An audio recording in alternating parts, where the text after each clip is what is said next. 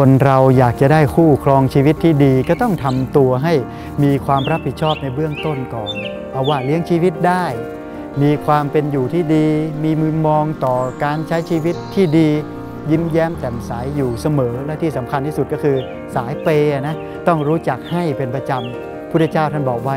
ผู้ให้ย่อมเป็นที่รัก ให้ไปแล้วและต้องไม่ต้องหวังว่าสิ่งที่เราให้ไปแล้วจะตอบแทนหรือเปล่า ให้ความรักไปแล้ว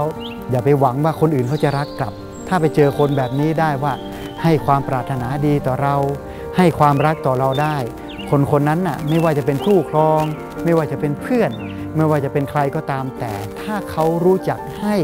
โดยไม่ได้หวังว่าสิ่งที่เขาให้แล้ว จะต้องได้รับกลับไปกลับคืนแบบนี้นะคนคนนั้นเป็นบุคคลที่เราเองควรจะคบ คนคนนั้นเป็นบุคคลที่เราเอง